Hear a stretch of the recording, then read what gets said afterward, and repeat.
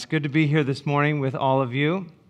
We're in the uh, series of Ephesians, um, the triumphant life for believers in Christ, learning to sit, walk, stand in the power of our Lord Jesus Christ. My question is this Who still has their memory verse from last week? I want to know if anybody memorized it, because we're today's a pop quiz. Pop quiz. Anybody memorize it? Let's hear. Anybody? Anybody? Can anybody throw us out? Throw it out there? Therefore, if anyone is in Christ, he is a new creation. Old things have passed away. Behold, new things have come. That's our verse. That's a reason why we have this verse, so you would lock it in and memorize. I carried it with me. Thank you, sir.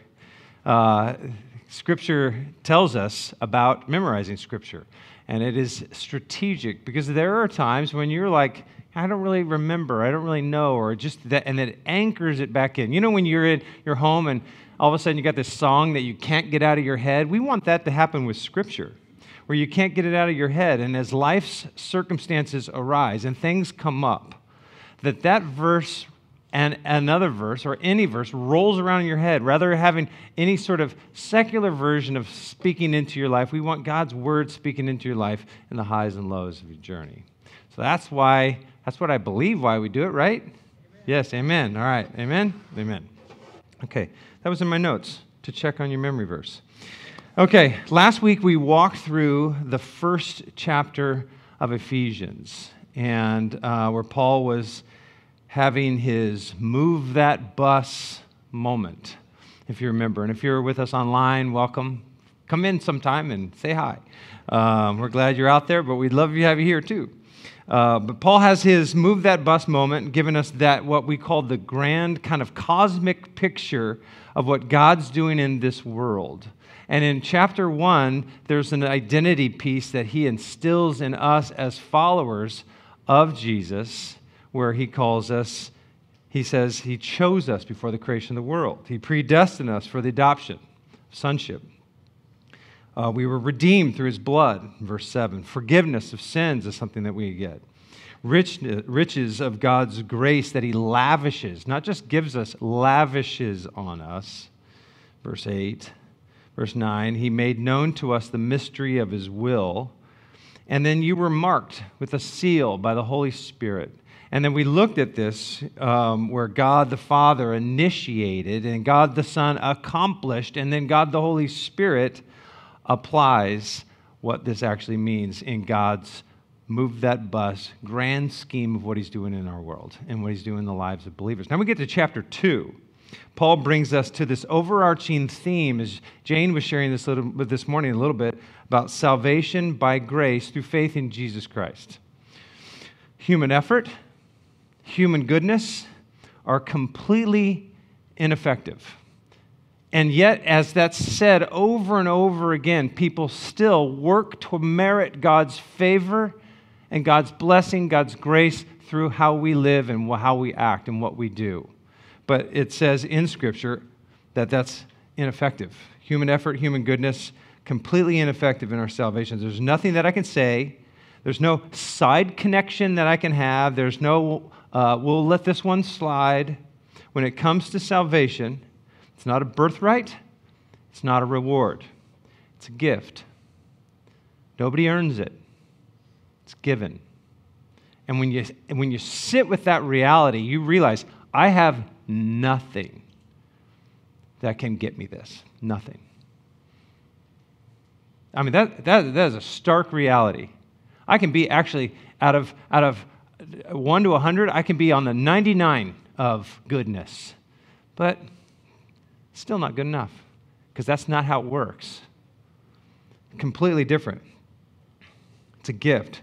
And that takes us from verse 1 to verse 10 in chapter 2. And then Paul transitions to focus on the idea of unity in Christ for the rest of the chapter. And this includes the tearing down of the previous divide between Jews and Gentiles, and that now there is one big spiritual family in Christ.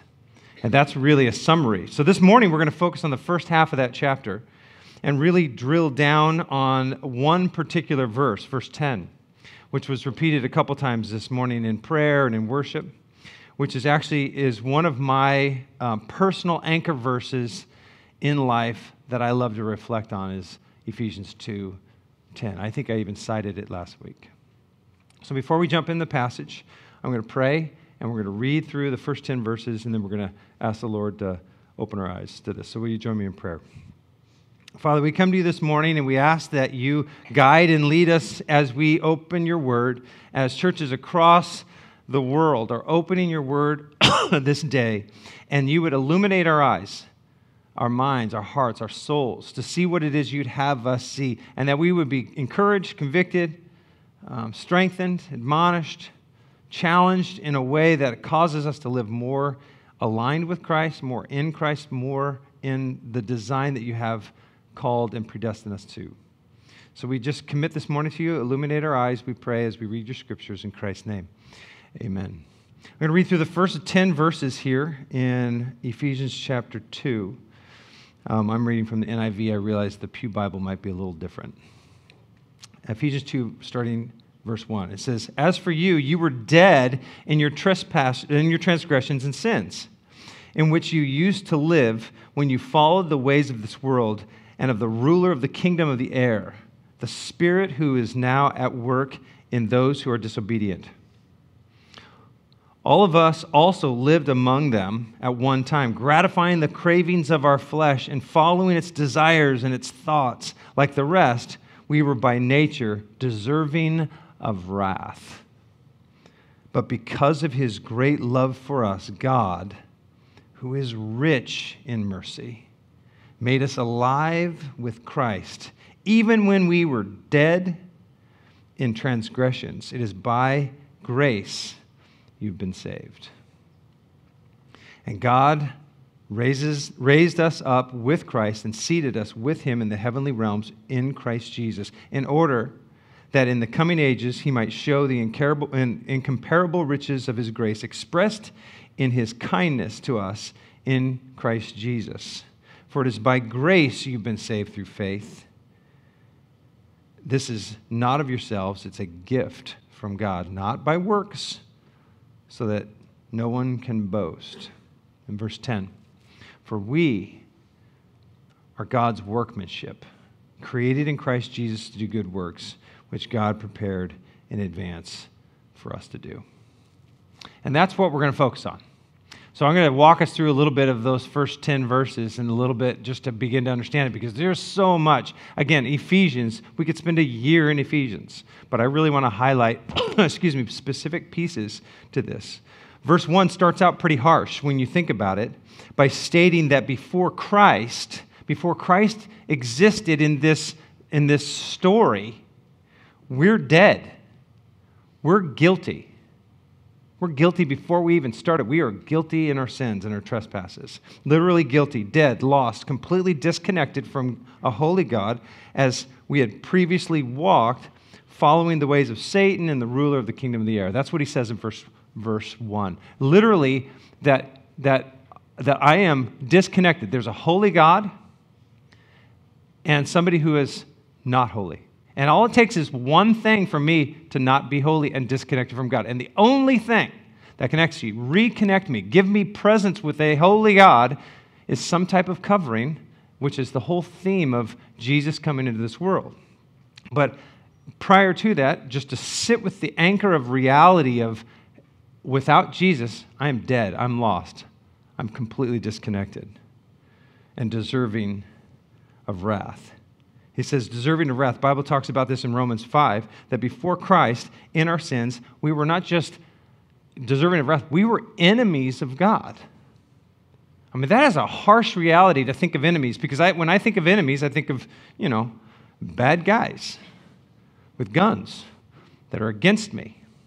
And now I look at this, and the scriptures say that, that before Christ, I was actually enemies with God. That, the, that my ways and my preferences, my agenda, my system of thought, rooted in this sinful nature, is counter to who God is.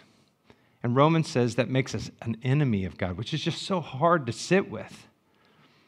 But that's what makes grace so powerful. Then it says in verse 4 and 5, where it says this it says, But because of his great love for us. And last week we talked about how he lavished grace on us. Because of his great love for us, God, who is rich, like deeply rich in mercy, made us alive with Christ even when we were dead in our transgressions. Because it's by his grace that we're saved. If we just sat with that, I mean, that is so much right there.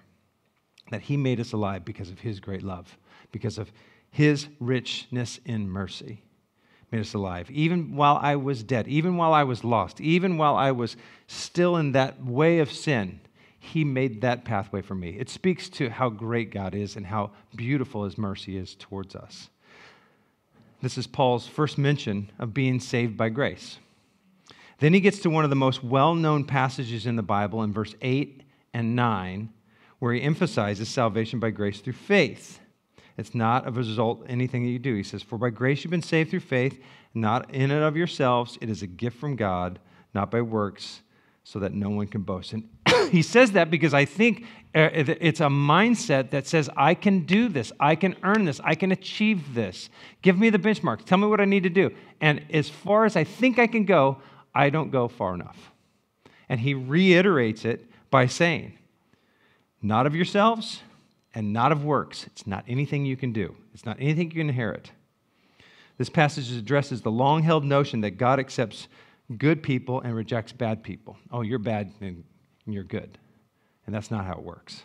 Most people, whether in uh, Christianized countries or those steeped in other religions, usually operate under the idea that God accepts or rejects people based on the level of goodness or their religious performance.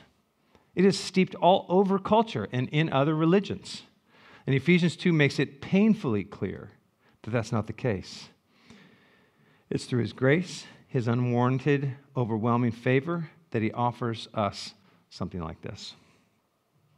This story hits so close to me, this passage hits so close to me as a, as a, as a kid growing up. Because I grew up in a Christian home. Uh, everything we did in our home was my father was a pastor of a large church in Southern California, and so I grew up in this Christian home. And everything that we did in our home was Christian. Everything. We went to church on Sunday morning, Sunday night, and Wednesday. Did anybody else? Do you remember doing that back in the day? They don't have that anymore, but that's what we did. It was every week. You didn't miss.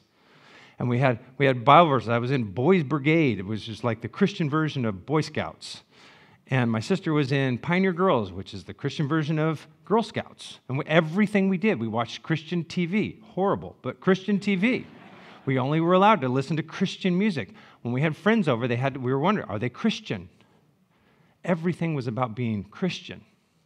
And in fact, in the home that I grew up, as my father is a Baptist minister, the home that I grew up, I grew up where we had a set of rules that we lived by because we were Christian. We called them the nine nasties. These are the nine things you don't do because you're Christian. You don't drink, you don't smoke, you don't chew. I remember I didn't know what chew meant when I was a kid. And I remember looking at my brother like, we don't chew? He goes, I don't know, just swallow. I don't know. It doesn't make any sense. We're choking. Don't chew. It's, we're Christian. See, see what I mean? It doesn't make sense, right? It's just crazy. Uh, we, we, didn't, we didn't go to movies. We didn't play cards. We didn't drink. We didn't go to dances. Uh, we didn't go cruising. We didn't hang out with girls that did those things. I mean, all these nine nasties of things that we didn't do because we're Christian. the chew thing's funny. Um, I remember as a kid growing, growing up in that, where my friends would say, We're going to go to the, there's a dance at school. I went to public school. There's a dance at school. And, we're, and there's, we want to go to the dance. Everybody's going to the dance. And that was the thing. We're all going to the dance. Everybody's getting ready to go to the dance. I'm like, I, asking me if I'm going to dance. I'm like, I, I can't. Why? Because I'm a Christian. And I remember arguing with my father. Why can't we go to the dance?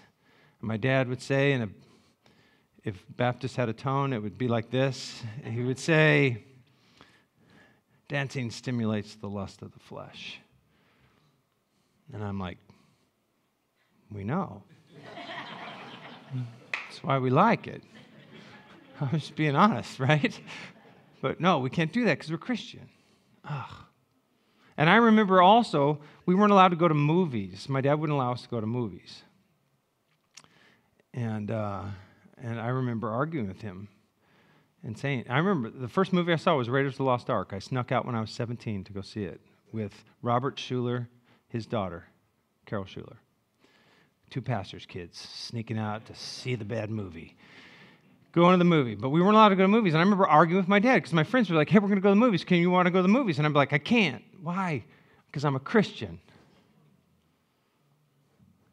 And I remember arguing with my dad, and my dad would say, in a Baptist tone, whatever that means, he would say, Son, what if you're in the theater and Jesus returns? What happens then? I'm like, we won't get to see the rest of the movie? Like that that's that was my thought process right? Like am i thinking my dad in a process of this whole thing i'm thinking i can't go to the movies because uh, i'm a christian. And i grew up a, a little bit of that where i didn't necessarily grapple with grace i grappled with behavior. And i think a lot of people do that that my salvation and my connection to jesus has everything to do with sin management rather than recognizing I have nothing and I rely on grace. It changes it all. Yeah, do I, do I, do I think my, my parents were doing what they thought was right? I get that. But for me, recognizing that grace is what God connects me to through Christ. And I accept it by faith and walk in that journey.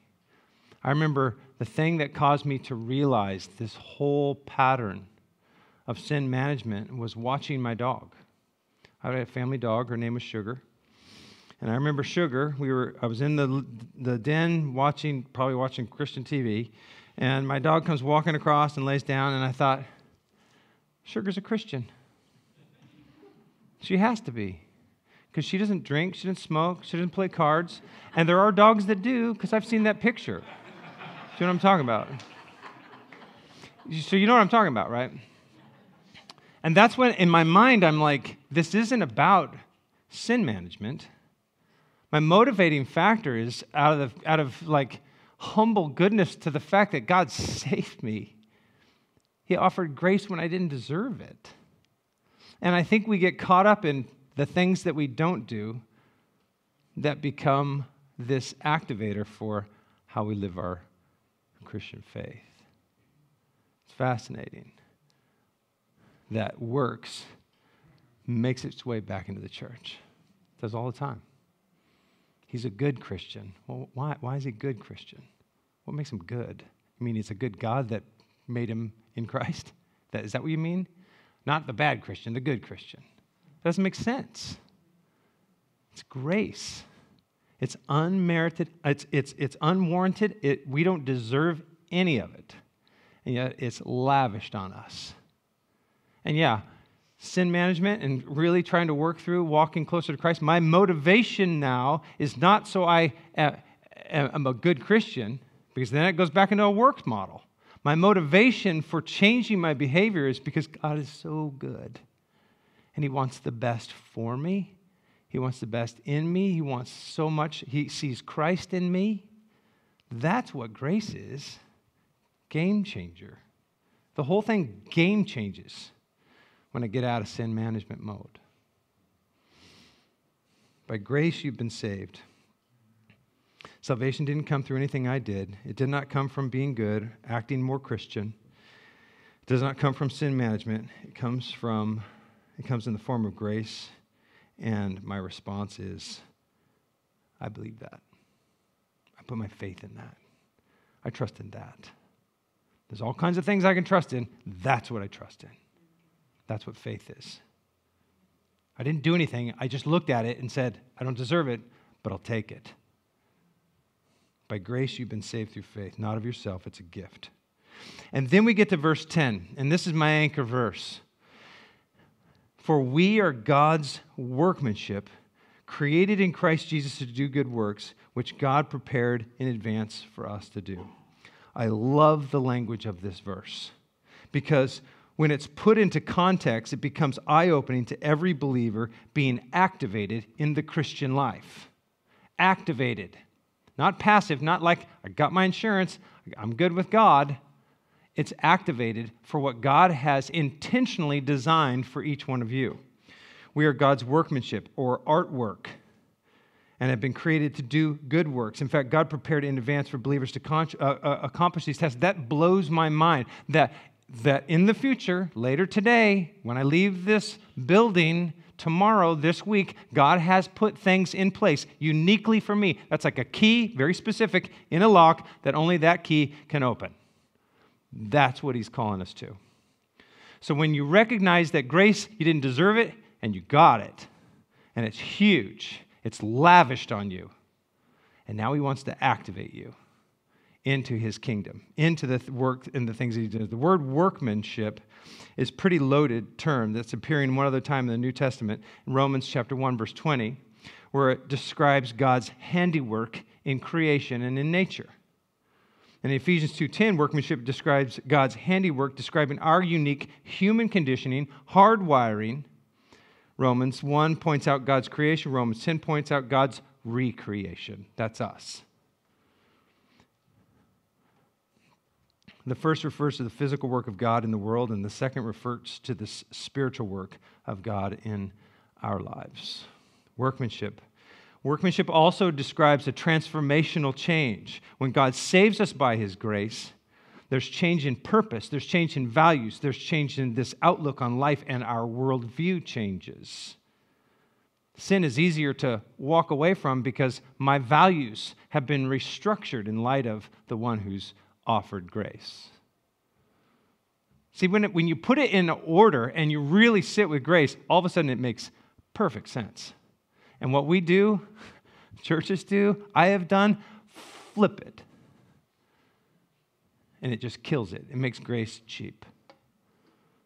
Being God's workmanship is a transformation into my very nature, which literally goes hand in hand with our memory verse that we had last week, 2 Corinthians 5:17. If anyone is in Christ, you're a new creature. Those old things, they just pass away. New things, new adventures, new excitement, new things for God to activate in your life have come. See how it all fits? We didn't even make, we didn't plan this. Did you plan that? I didn't plan it. Oh, yeah, oh all right. Well, I get it then. You're in my head then. I get it. It's a conspiracy. Oh, that's good. Thank you. That was funny. I was getting a little passionate here. Um, so, where's workmanship? Creating Christ Jesus. Not our, re- our reworking or redoing, but doing what God's doing in Christ Jesus. To do good works, to do the things that impact this world, which God prepared in advance for you to do. He's already laid it out. Because of who I am in Christ, saved by grace, God's transformed me. I'm a new creation. Now we set up this adventurous life. And I call it the adventurous life because I don't have any, cl- there, there's no, God doesn't like download an agenda in my Outlook calendar. What he does is he calls me to be awake and to be sensitive to the Spirit. And the Spirit prompts things, as we talked about last week. He, the Spirit is activating things in our lives. And as I'm open to the Spirit activating things in my life, all of a sudden the next conversation I have is literally designed for what God's doing in this world. The next conversation the next opportunity, the next thing, I begin to discern and begin to see what are those specific things that God has uniquely for me. He activates it where I do His good work, which He set for me to do. So I want to challenge you with these two things and then share a little story. First is this. First is this. Do you believe it? So I think we verbally assent to it. But do you believe it? Belief affects behavior. Now, I can just say, I think that's great. I could say I'm a Christian. I could say I'm in Christ, but I don't behave that way. Does it actually modify and change my behavior? Do I believe that I'm uniquely formed by God to do something in this lifetime not something that I did earlier, in this lifetime, as in when I leave the building here today, that He's planned out for you. Do you believe it? Uh, I got an amen all by myself. Do you believe it? Okay. Sometimes. Sometimes it's hard. Thank you for saying sometimes. Because sometimes you're like, I don't get it. This doesn't make sense.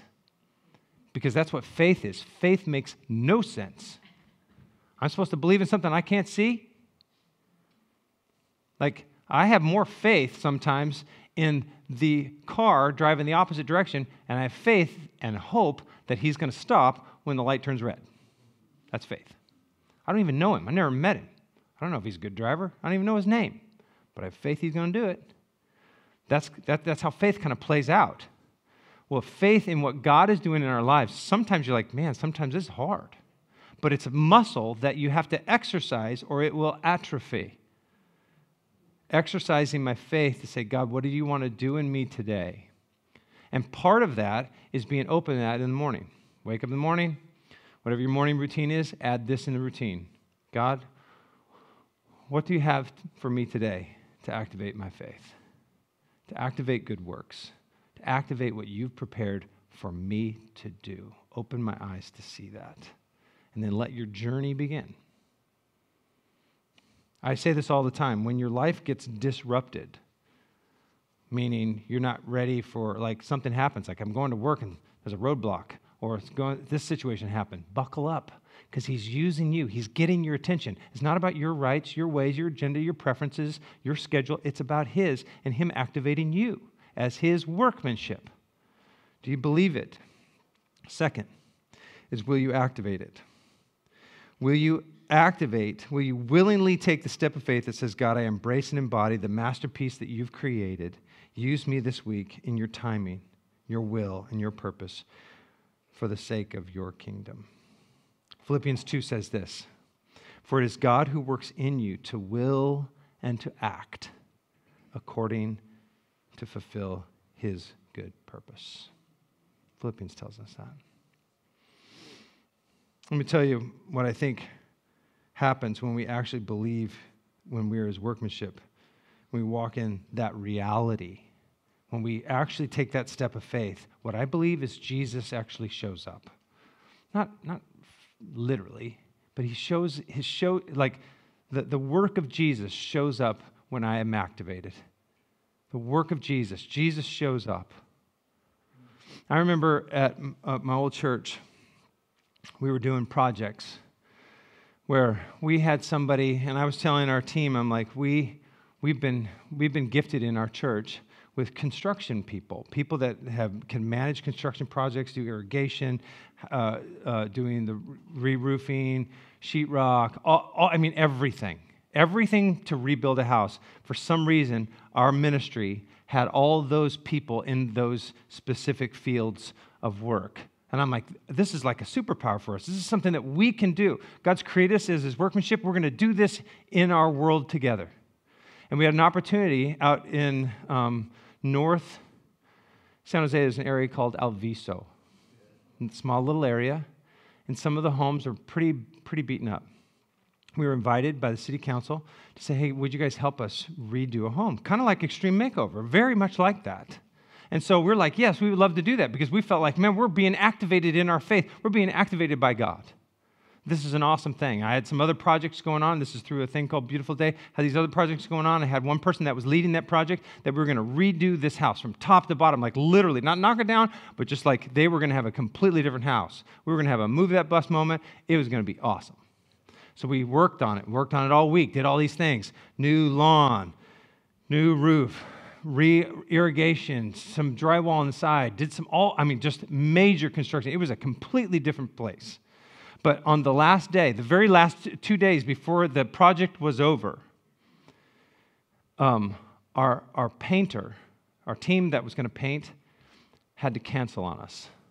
So when you do a home and you do a complete makeover, and you've done all these cool things and it's not painted, it kind of kind of kills the whole thing. You're like, no, no, it's it's really cool inside. You know what I mean? It's, it just doesn't have the same effect. And I remember the foreman on our team guy I was working with and discipling, he said, Jon, uh, uh, uh, this, this happened. Here's our, our, uh, our foreman for painting canceled on us. I'm like, oh, man. And I said, well, let's just pray, man. We just, yeah, we need Jesus to show up because we've been doing this and acting out in faith. And so we're just praying, God, just, we just need you to show up. Will you show up and will you show us something? And so we went back, and you know he's going back and doing some things. Well, there was nearby that house, there were some construction workers that were doing another project, completely unrelated to what we're doing, and they'd been watching us all week doing this project. And they came over. They said, "Hey, why aren't you painting the house?" He said, "Well, our, our painters canceled on us, so we're trying to figure that out." They're like, "We're painters. Can we can we paint the house?" And he's like, "Absolutely." These guys do the whole thing. And afterwards, we were celebrating and talking to them. And one of the guys, the foreman, asked him, you know, remind, remind me your names again? I kid you not, this is what their names. First guy's name was Moses. Second guy's name was Israel. And the third guy's name was Jesus. Now, he went by Jesus, but it's spelled like Jesus. And so my foreman calls me, he said, I said, How's it going? He said, Jesus showed up. I said, I know, we've been praying about it. I said, No, he's right here. He's right here, right now. I'm like, What are you talking about? No, I'm telling you, Jesus is here. Yeah, who knew? Jesus is a short little guy and Mexican guy in El Viso. Goes by Jesus. But it was, it was almost God's humor to say, I got you. Live this adventurous life. Be activated. I have lavished so much grace on you. Be empowered to be what I've designed you to be. And we sit back and we laugh about that and we're reminded Jesus does show up with Moses and Israel. But he does show up. And he shows himself to us. Let me read that passage one more time. Verse 8 and 9. For it's by grace God's grace. You've been saved. You didn't deserve it, but He gave it to you. It's activated through faith. By grace, you've been saved, not of yourselves, nothing you could do, no goodness, no favor, just God's grace. Not of works, lest anyone boast. And from that, we are His workmanship, His masterpiece that He wants to activate created in Christ Jesus to do good works that only you can do. That key and that lock, when we leave this building, is activate us in this world. And when that happens, friends, Jesus shows up. And he does unbelievable things in our adventurous life. So, with that, will you join me in prayer and we'll close our teaching time here. Father, thank you for the opportunity to just share from your word and that we would be challenged by it, motivated, reminded, humbled by it, by your grace, and activated through faith in this workmanship that you've created for us to do. Bless us this week as we leave this building after we have our time of closing, that we would be activated for your kingdom. We pray in Christ's name. Amen.